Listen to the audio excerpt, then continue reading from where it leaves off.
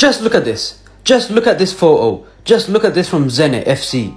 Manchester United are clearly still the biggest club in the world.